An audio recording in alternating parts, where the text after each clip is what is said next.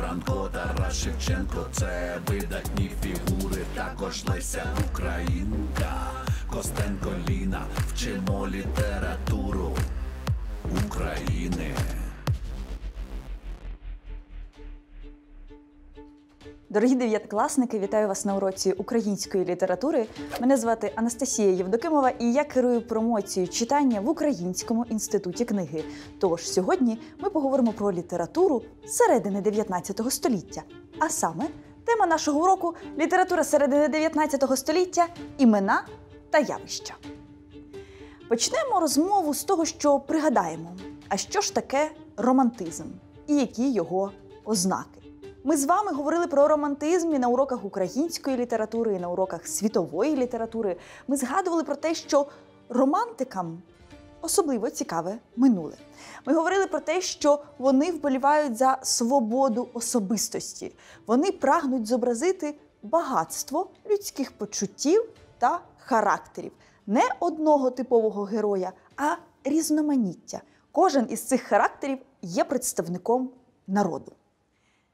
Також романтикам цікава стихія, вони прагнуть зрозуміти природу та попрацювати з нею. Вони вдаються до символобачення, коли весь світ розкладають на окремі символи. У романтизмі постать автора завжди активна, а автор зі свого боку прагне відкрити людям очі на цей світ. Перший з романтиків, про якого хочеться згадати, це англійський автор Джордж Гордон Байрон. Ми з вами читали його поему Мазепа. Можливо, ви пригадуєте, ми вивчали паломництво Чарльда Грольда та інші тексти. Також ми з вами згадували про Вальтера Скотта, коли говорили про історичні романи. Цей шотландський автор, зокрема, написав Айвенго. Польський романтик, один із ключових польських романтиків, це, звісно, Адам Міцкевич. Тоді як один з ключових французьких романтиків Віктор Юго. Його роман Знедолені ми сьогодні ще назвемо, а тим часом я думаю, що ви читали Собор Паризької Богоматері, текст про Нотр-Дам де Парі, про один з ключових соборів Парижа, а також про любовні перипетії, які відбувались навколо цієї будівлі. 30 сторінок, якщо не більше опису собору Паризької Богоматері, дають нам можливість уявити, якою величною є ця споруда. Якоб та Вільгельм Грім, брати Гріми, автори казок. Саме в період романтизму німецькі казкарі були особливо затребуваними і популярними, адже до казкового світу був особливий інтерес. Також не можна оминути Ернеста Теодора Амадея Гофмана, композитора і письменника. Ви читали Малюк Цахис на прізвисько Цинобер або Лускунчик та Мишачий король. Інший німецький автор, про якого ми неодмінно згадаємо в курсі 10 класу, це Генрі Гейне. Адже саме цього автора чи не найбільше перекладала Леся Українка, про творчість якої ми говоритимемо вже за рік. Жорж Санд письменниця з середини 19 століття. Про її творчість ми також згадували, коли говорили про жінок. Письменниць з чоловічими псевдонімами одна з ключових і найпопулярніших авторок 30-40-х років 19 століття. Про шлях від любові до жорстокості хочеться розповісти на прикладі картини іспанського художника Франциско Гойї Сатурн, який пожирає одного зі своїх синів. Розгляньмо, на картині зображено Сатурна, римського бога, ну або ж грецького Кроноса. І він, цей Бог, якийсь надзвичайно великий. Він навіть не поміщається в полотно. В нього неприродньо велике тіло, в нього аномальна голова, і в його очах стільки жадоби. Він поїдав власних дітей, адже боявся, що вони прийдуть і позбавлять його влади. Він був богом землеробства, тому одним із його символів був серп. Також, якщо ви будете в Римі, зайдіть принагідно на римський форум та подивіться на найстаріший грецький храм храм Сатурна. Власне, колони цього храму збереглися досі, а він у нас асоціюється із святом Сатурнін. Пригадайте, що це таке. Ще один художник-романтик Каспар Давід Фрідріх. Ми говорили з вами, що романтиків цікавила стихія природи. Власне, ця картина Дерево з воронами нагадує нам про те, що природа має якусь силу, силу, котру людина не може зрозуміти, яку вона не може контролювати і тримати в своїх руках. Зокрема, найкраще розглянути картину Мандрівник над морем туману. Людина піднімається вгору, вверх, до самої природи. Вона, як той мандрівник, котрий виходить на краєчок. І на краєчку бачить перед собою весь безмежний обшир і простір. І в цьому просторі немає ніякого я. Є лише природа, є лише те, що створене Богом. І цей мандрівник насправді затуляє для нас центр картини. Ми не знаємо, що ж там посередині. Ми можемо лише здогадуватись, а здогадуючись, уявляти себе на місці цього мандрівника. Отакою є сила романтизму. Ще один приклад візуального мистецтва доби романтизму це картина, яка висить у Луврі Ежена Делекруа Свобода, що веде народ. Давайте її розглянемо детальніше. В центрі зображена свобода в образі жінки, жінки, котра, подібно до грецьких богинь, босоніж, ступає по землі. Вона має в руках прапор, французький триколор, який символізує свободу, рівність, братерство. А тоді, на початку 19 століття, це був такий антибурбонський символ. Реакцією на які події є ця картина? Липнева революція, 1830 рік, Карл X скасовує свободу слова і вільного друкування. Він розпускає парламент. Він робить так, аби почались масові заворушення і протистояння. Якщо ми уважно розглянемо цю картину, то зрозуміємо, що попереду лише декілька героїв, тих героїв, тих персонажів, які символізують тогочасне суспільство. Це і пан у циліндрі з буржуазії, і хлопчик із роману Віктора Юго Знедолені, і чоловік в береті, який вірогідно розносив газети, адже свобода слова, свобода вільної преси, те, що забороняв Карл X. Попереду офіцер, який падає, помирає, адже нікого не щадить революція. Це полотно зображає епічну сцену протистояння тирану. Ми бачимо, що там далеко, праворуч, в куточку видніється собор Паризької Богоматері. Він теж в тумані. Але в нас виникає питання: а що ж сталося далі? Як розгортались події після цієї миттєвості, після цього кадру? Іспанська художниця Крістіна Лукас створила відеоарт, тобто відеороботу, мистецький твір, про те, що відбувалось до моменту цієї картини. Вона фіксує саме цю мить, коли свобода опиняється попереду в образі цієї жінки з прапором, і що відбувається опісля. Ви можете знайти це відео в Ютубі і переглянути, але якщо коротко, то йдеться про те, що свобода виривається вперед, але зрештою вона спіткнулась і впала. І всі ті, хто йшов за нею і мав би її підтримати, зрештою на неї нападають. І свобода опиняється в полоні у цих людей. Це надзвичайно цікава сучасна інтерпретація того, якою ми бачимо свободу, як ми її розуміємо, чи користуємось ми нею, яким є образ свободи для сучасного суспільства. Яким же був романтизм в Україні? На правобережній Україні та на лівобережній? Давайте пригадаємо. 1798 рік виходить перший твір нової української літератури Енеїда Івана Котляревського. На сюжет Вергілія накладаються інакші реалії, власне, українські, адже козацький міф тоді ще живий. Тоді ще пам'ятають з одного боку про бунтарську січ, куди можна було втекти, де були козаки, які жили за своїми законами і правилами, які боролись за свої цінності. А з іншого боку, інтелігенція пам'ятала про власну державу, про Гетьманщину. Український рух насправді формувався під впливом з одного боку французької революції, а з іншого боку, під впливом романтичних ідей та романтичних ідеалів. Народ асоціювався із національним духом, адже національний дух, народний дух це справжній дух. І світ уявлявся як величезна арфа, де є багато струн. І кожна струна особлива. І кожна струна це якийсь інший народ. І кожну струну необхідно цінувати, тому що інакше арфа не звучатиме. Так на Заході була надзвичайно популярною тема східних слов'ян. Зокрема, тому що вони приваблювали своєю таємничістю, загадковістю, незнаністю. Зокрема, популярним був образ Івана Мазепи.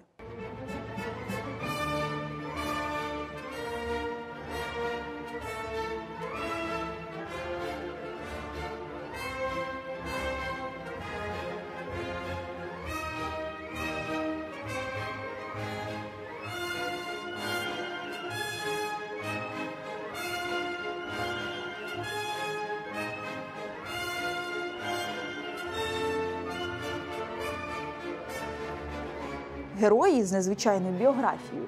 Про нього лорд Байрон написав поему. А зараз ми з вами чули симфонічну поему Френса Ліста, також про Мазепу. Також постать Мазепи була популярною для художників. Ежен де Лекруа зобразив покарання Івана Мазепи на коні, коли Івана Мазепу несе кінь. Або Ораса Верне, коли Мазепа серед вовків.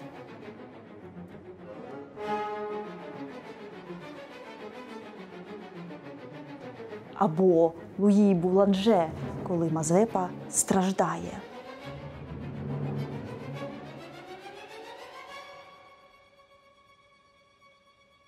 «1819 року виходить перша збірка українських історичних дум. На відміну від польської літератури та російської літератури, де не було історичних дум, у нас вони були. І це дивувало всіх, тому, коли з'явилася ця збірка, то почали говорити про те, що українські бандуристи і кобзарі як гомери, як співці національного епосу, тоді як Україна це нова Греція. 1827 року з'являється видання українських пісень, підготовлене Михайлом Максимовичем.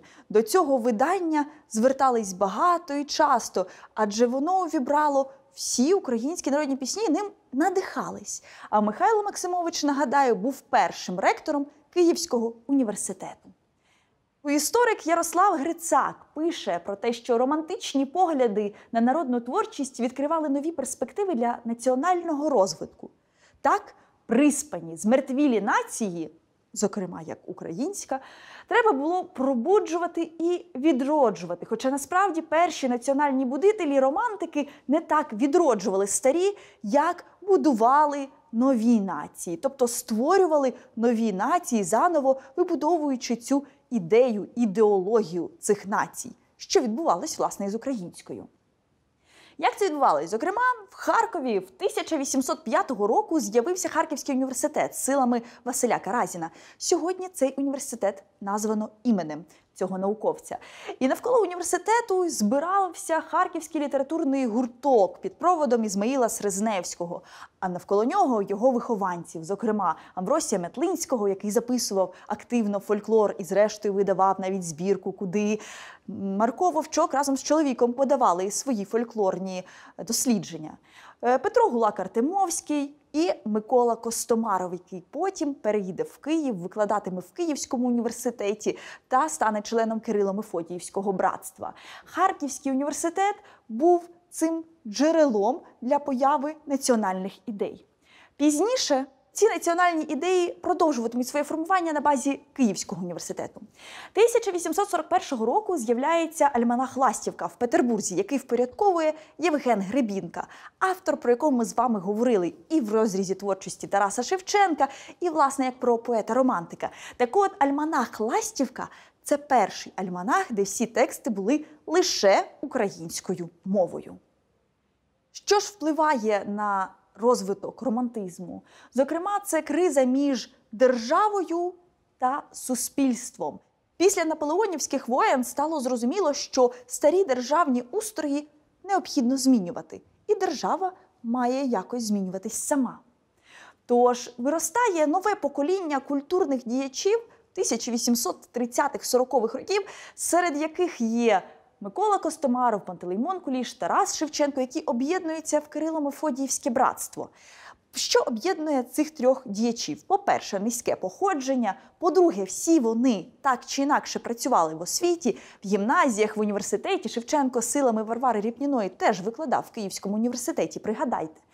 Вони обрали для себе літературу не як хобі, якийсь позаробочий час, а як основний фах і ставились до цього абсолютно серйозно.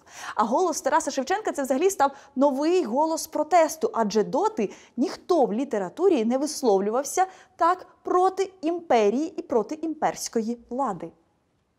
1840 року з'являється Кобзар. Переломний момент для української літератури, переломний момент для творчості Тараса Шевченка навколо яких ідей гуртувались Кирил Мефодіївці. Це ідея слов'янської єдності, яку описав Микола Костомаров, коли зрозумів, що слов'яни між собою дуже подібні. Він написав такий собі маніфест, книгу битія українського народу. Кирило Мефодіївського братства. Була своя соціальна програма, яка передбачала скасування кріпацтва і поширення серед народу освіти. Тобто, передовсім вони думали про те, як же розвивати народ, як його навчати. Їхні наміри були мирними. Це не те таємне товариство, яке планувало якісь замахи, заколоти. Ні, вони державотворці, які працювали з ідеями, з темами, з думками.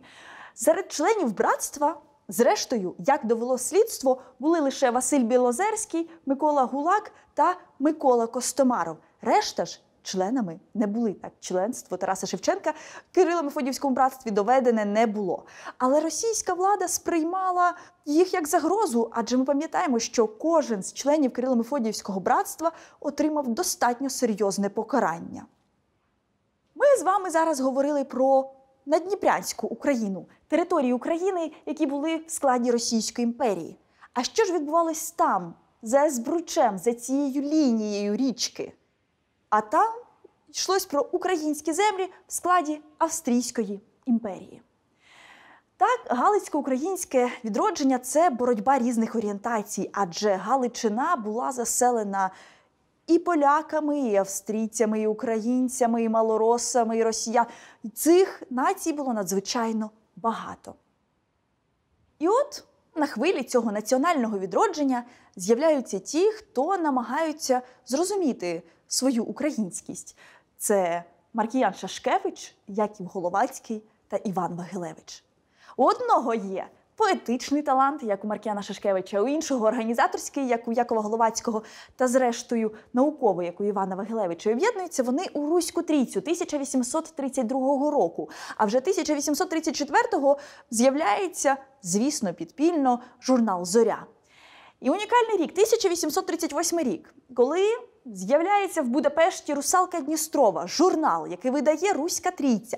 Іван Франко писав, що там не було ніякої особливої художньої цінності в цьому журналі. Але тоді Шашкевич, Вагилевич, Головацький та спільнота, яку вони зібрали навколо себе, це десь осіб 20, розуміли, що вони сприймають себе так само, як такі ж українці але на Надніпрянщині.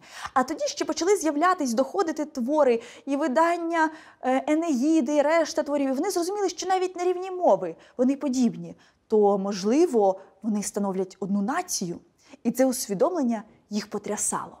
На жаль, ні Шашкевич, ні Вагилевич, ні Головацький довго не прожили, але ці кроки були надзвичайно важливими для того, аби утвердити свої вимоги до австрійського уряду, утвердити свої вимоги до відня аби Україна існувала автономно. Українські землі були автономією в складі Великої імперії, Австро-Угорської імперії. Про русалку Дністрову Ярослав Грицак, сучасний історик, пише так: Її революційність полягала у розриві зі старою традицією літератури церковнослов'янською мовою. Ця збірка ввела народну мову галицьких русинів у літературу і довела, що між їхньою мовою і мовою українців з Російської імперії немає жодних суттєвих відмінностей. А отже, галичани і надніпрянці становлять той самий народ. Принагідно варто згадати ще про кілька творів мистецтва, зокрема про оперу Запорожець за Дунаєм, яку ви зараз чуєте Семена Гулака Артемовського.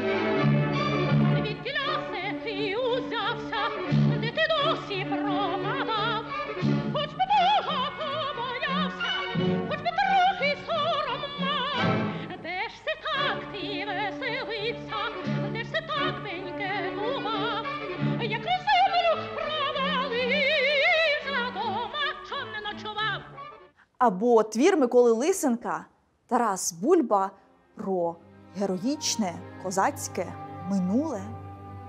Що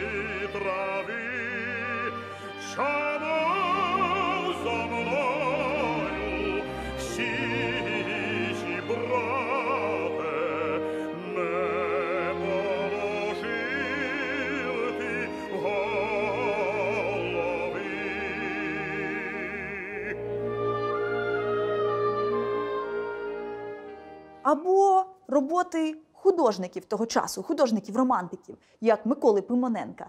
Його картина Побачення, де парубок і дівчина зустрічаються, чи суперництво двох дівчат за одного парубка. Або побачення у місячну ніч.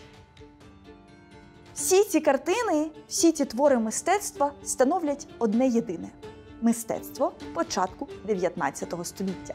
Дореформений період. Мистецтво того часу, коли жили і працювали автори, про яких ми з вами говорили в курсі літератури 9 класу. Пригадайте, яких поетів-романтиків ми вивчали з вами у 9 класі. На наступному уроці ми поговоримо про них детальніше.